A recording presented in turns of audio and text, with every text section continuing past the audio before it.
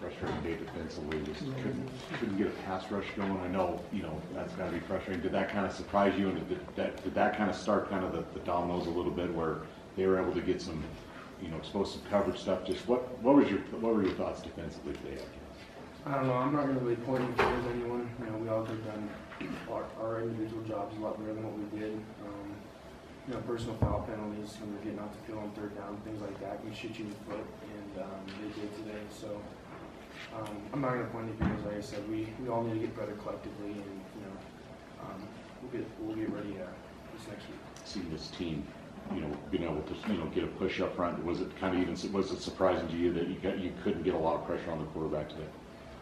I mean, I don't know, they, their quarterback was, he got rid of the ball pretty fast too. um, sometimes. And, I don't, I wouldn't say I was, you know, obviously we want our D line to have more pressure always, but, um, you know, there comes a time where you're gonna face adversity and there's gonna be guys that are pretty good up front and just, just the game of football and how you respond to just, you know, says a lot about how, who you are and, uh, you know, our D line, they, it's not like they didn't work hard, they didn't try to get pass rush, so, um, I still love them, so. Logan, you guys got that safety, and then you got a couple turnovers. That seemed to get you guys going. Was there something Washington State adjusted to second half wise that you could tell uh, from what they were doing? Not really. I mean, they were doing everything we expected them to do. Um, it just came down to us not executing the best of our ability, and, um, and really that was it. Feel, you know, the next game is SEC team, I I guess whether it's Missouri or whoever else is just, is just get ready for the next game, you feel like you guys will learn and bounce back from this one?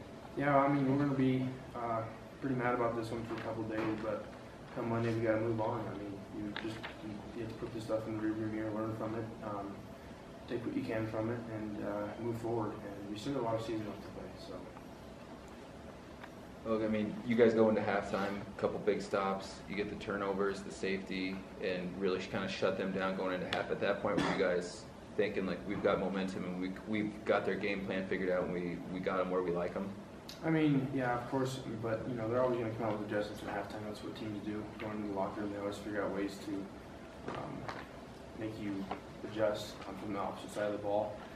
And um, like I said, we just really didn't execute the best that we could um, as a whole defensive unit. I don't think um, it wasn't really anything that they were doing that was out of the ordinary. I mean, they were doing what they've they what Leach has done since the whole time he's been at Washington State, and so. Um, we were really surprised by that. We just didn't execute the best we could.